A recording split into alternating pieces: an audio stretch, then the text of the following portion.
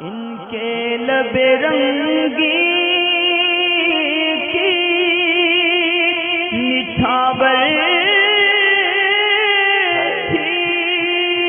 कि जिसने चीज़ में और अर्ज़ करता चलूँ दुआ के ताल्लुक से कि बाज़ लोग इस किस्म की दुआ लिखते हैं या दुआ देते हैं। अभी कमेंट वगैरह में या ईमेल के, कि जिसको, जिनको शायद इस किस्म का मसला मालूम नहीं होता कि दुआ किस किस्म से करनी चाहिए या नहीं।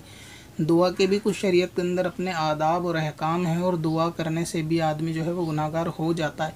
तो वो सूरतें भी सीख लेनी चाहिए, अगरचे किसी का सवाल नहीं है, मगर मैं इसको वैसे ही इनफरादी तौर से अपनी तरफ़ से जवाब दे देता हूँ कि बाद लोग दुआ के अंदर ऐसे मामलात करते हैं जो कि दुआ में मांगना दुरुस्त नहीं है और इसी तरीके से ऐसी चीज़ की दुआ दुआ करना कि जो मुहाल हो या करीब बा मुहाल हो तो दोनों सूरतों की दुआ जायज़ नहीं।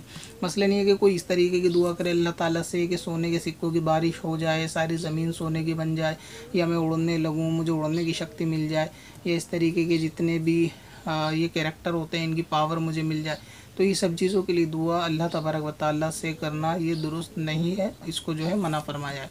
ठीक इसी तरीके से इस किस्म की दुआ करना अल्लाह तबारक व ताली से कि जैसे बंदा किसी से अपने दोस्त से या किसी दूसरे फ़र्द से बात करता है और इस किस्म की दुआ माँगता है कि यार फ़लाँ से मेरी शादी हो जाए या फ़लाँ शख्स से मेरा निकाह हो जाए, काश ये मुझे मिल जाए तो इस किस्म की दुआ भी अल्लाह तबारक व ताली से करना ये दुरुस्त नहीं है कि अल्लाह मेरी उससे शादी करा दे, अल्लाह ताला मुझे उससे शादी करा दे या ऐसा हो जाए, वैसा हो जाए। कि आप जिस तरीके से मामला जो है दोस्तों में बात करते हैं, गुनाह के कामों की तो इस किस्म की दुआ भी जायज़ नहीं।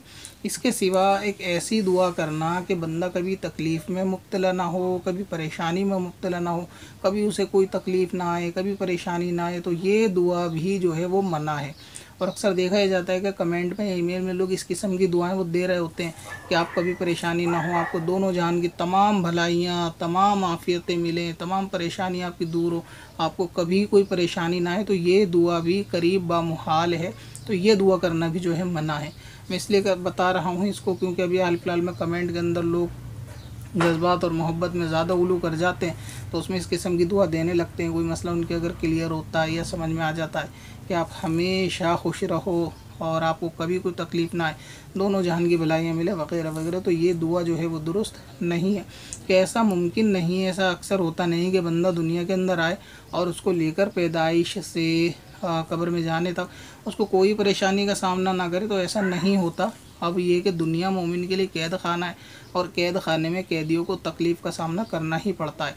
तो किसी के लिए ऐसी दुआ करना ही दुरुस्त नहीं है। इस बात का आप ख़ास ख्याल रखें। इसी तरीके से वालिद इमाम अहमद रज़ा रईसुलमतकलमीन हज़रत मौलाना मुफ्ती नकी अली ख़ान रदील्ला तबारक वाली अहसनवियाल आदाब दुआ किताब के अंदर फरमाते हैं। दुआ के आदाब के अंदर के मुहाल के लिए दुआ या करीब मुहाल के लिए दुआ, ये दोनों मना हैं। और ये दुआ करना कि हमेशा मैं तंदुरुस्त रहूँ, हमेशा आफियत में रहूँ, कोई मुझे कभी तकलीफ़ ना हो, किसी तरीके कोई परेशानियाँ हो तो ये दुआ करना जो है वो मनाए जायज़ नहीं है। लिहाजा इस दुआ से परहेज़ करना चाहिए। अच्छा ये जो हदीस पाक के अंदर इस किस्म की दुआ होती है कि जैसे अल्लाह इन्नी असलूकल आफ़ियता व तमाम आफ़ियती व दवाम आफ़ियती अल्लाह ताला मैं तुझसे तलब करता हूँ तमाम आफ़ियत हमेशा के लिए। तो इससे मुराद ये होता है कि जो चीज़ आदमी के बर्दाश्त से बाहर हो, ऐसी परेशानी से इसमें अल्लाह ताली की पनाह मांगी गई है। या फिर इससे मुराद ये है कि जो हकीकत में बला हो, उस बला से निजात मांगी गई कि अल्लाह ताला मुझे हमेशा बला से महफूज रखे। और बला से मुराद वो होता है कि जो वाकई में बला हो और हर बीमारी बला होती नहीं है। लिहाजा बला उसको कहेंगे जो नाकाबिल बर्दाश्त हो या ऐसा मूजी मर्ज़ हो कि जो बंदे में, बंदे को बहुत ज़्यादा शदीद तकलीफ़ में मुबतला कर दे। यानी ऐसी ऐसी बीमारी के जैसे सर का दर्द है तो ये दर्द तो बीमारी तो है, मगर ये कोई इतनी हार्ड बीमारी के बला इसको नहीं कह सकते। इसी तरीके से बुखार का आना तो ये मर्ज़ तो कुछ ऐसे हैं जो बंदे के गुनाह को मिटाते हैं। और ये बंदे के लिए नफ़ा बख्श हैं, उसके अमाल के लिए फ़ायदा है, उसके आखिरत के लिए भी फ़ायदा है। तो ये कोई बला नहीं है। बला जैसे आज के तौर पे आप ले लें कि कैंसर वगैरह का मर्ज़ है एच आई वी एड्स का मर्ज़ है, या इस तरीके की ऐसी बीमारी है कि जो वाकई में बला हो कि बंदा उनसे पनाह मांगे तो उसको कहेंगे बला तो इस हदीस पाक का वो मतलब है कि जिस्मानी रूहानी हर तरीके से बला, सबसे बड़ी बला जैसे कुफर और शिरक में मुबतला होना, गुनाह कबीरा में मुबतला होना तो इन बलाओं से आफियत से अगर अल्लाह से पनाह मांगी जाए कि अल्लाह ताला हमेशा गुनाह से मुझे हिफाजत फरमा, मेरी तो ये दुरुस्त है। मगर ये कि हमेशा मुझे कोई तकलीफ़ ही ना हो तो ये दुआ जायज़ नहीं है। लोग ऐसी दुआ करते हैं, क्योंकि सर का दर्द भी एक तकलीफ़ और ये कोई बला नहीं, कोई इसमें परेशानी नहीं।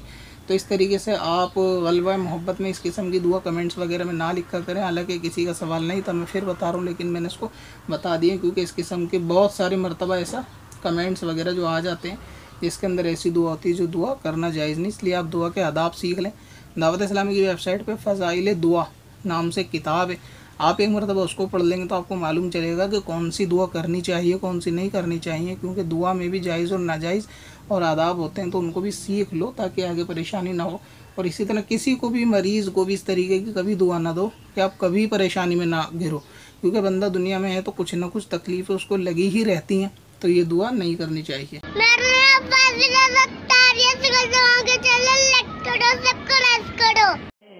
पत्थर में असल लाले। पुरनवार।